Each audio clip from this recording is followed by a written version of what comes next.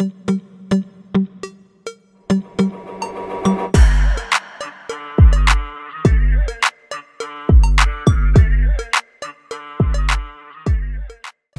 everyone, today Autoshop Vietnam will introduce to you the video using Smart FI 2 to automatic remap for Honda brand. Firstly, I will guide you how to connect Smart FI 2 with the Honda bike. You need to prepare one main cable. For the Honda motorcycles after 2022, you will use the main cable to connect directly with Smart FI 2 and DLC jack on bike. For the Honda motorcycles before 2022, you will use the main cable to connect with the cable SI203. And then from cable 3, connect with the DLC jack on bike. Normally, the DLC jack will be located near the battery position. In case your customer is Honda motorcycle before 2022 and are located far from you, it's impossible to send the whole motorcycle to you for remapping. Only send the ECM. So what do you need to do? You will need to create a cable to connect the main cable with the ECM. In this video, to make it more convenient for me to operate on the table and record the video for you. I have finished making the cable like this, which you can refer to. And I would like to remind you that this cable is not included in Smart FI 2 accessories kit and you need to create it by yourself. Now I will connect my cable with the main cable and then connect with Smart FI 2 device.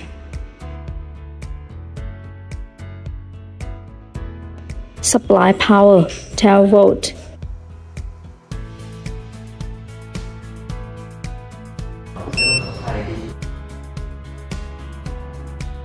Connect Smart FI 2 with smartphone or the tablet by Bluetooth.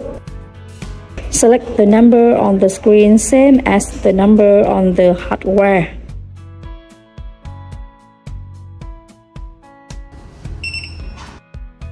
I will explain more about remap and toning. A common issue in Honda fuel inject motorcycle models is experiencing initial throttle hesitation and engine sputtering within the speed range of 30 to 50 km per hour.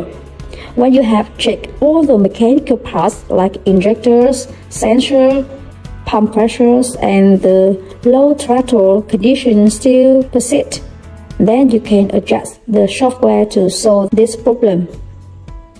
Remapping or toning refers to readjusting the fuel and ignition maps to resolve the initial throttle hesitation problem in Honda fuel inject motorcycle models. For other Honda old models, they often have problems with the fuel consumption, engine drag, or weak engine Therefore, depending on the specific motorcycle model and its condition, remapping is adjusted accordingly to achieve the most suitable performance, maximizing power output and providing the smoothest riding experience. In this video, I will guide you using automatic remap for Honda brand motorcycles. You select Honda there are two functions, remap Shindengen and remap Keihin. Select remap Shindengen. Automatic remap and custom remap. In this video, I will guide you about automatic remap.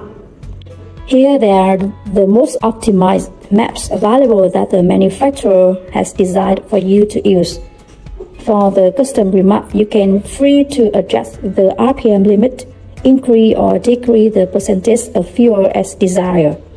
This function is suitable for those with extensive knowledge of remapping and toning who want to adjust the maps according to their preference or use it when they have already loaded the available maps in the automatic remap section but haven't achieved 100% of the desired performance.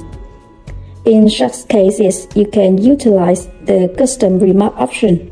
The instructional video on custom remap will be available in the next video. And now I select automatic remap.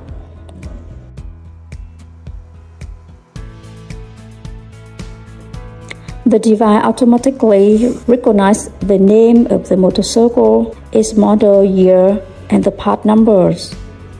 Select Remapping. There are the maps that the manufacturers have designed for you.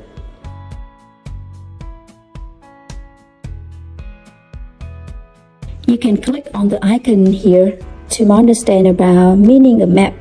For example, map plus 3% means increase average 3% fuel and ignition compared with the original one, or increase the rev limit up to 10,500 RPM. Adjusting the AF ratio, handling the fuel shortage. Okay. Now my bike is experiencing slight throttle lag so I will try selecting the plus 3% remap option. Are you sure? remap 3%? Okay.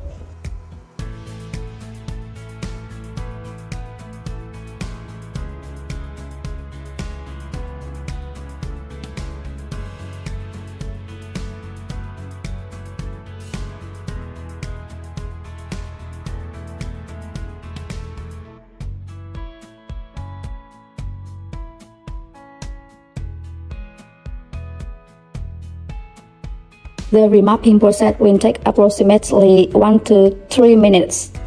During this time, it's important to ensure a stable connection, avoid turning off the ignition and disconnecting the device.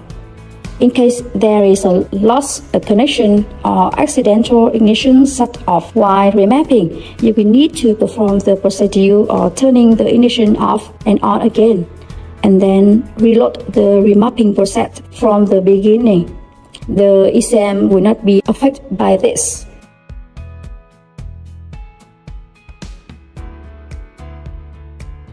I would like to repeat what I have mentioned from the beginning. Please refrain from remapping the motorcycle immediately before thoroughly checking the mechanical components. Only when the mechanical parts are in perfect condition and the issue still persists should you consider remapping. Do not make the decision to remap solely based on the initial throttle hesitation. Sometimes the problem may be minor, and the remapping could lead to more severe damage to the motorcycle.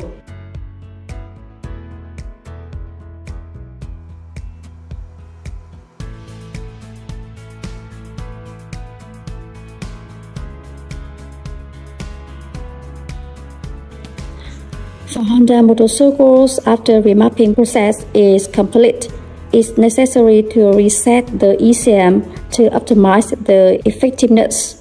You can do this by turning the ignition on and off for 10 seconds.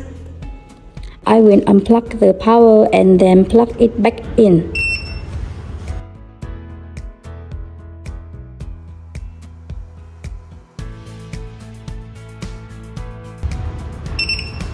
And then for reset ECM, you go to diagnose, automatic diagnostic.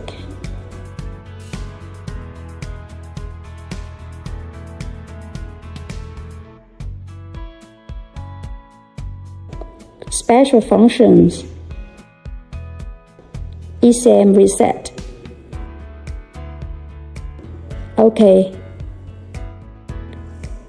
Turn the ignition on and off and start the engine for 10 minutes. To assess the effectiveness of the remap, you can check it on a dyno bench or experience it while riding on the road. You will notice the most noticeable changes in performance and efficiencies when riding the motorcycle outside.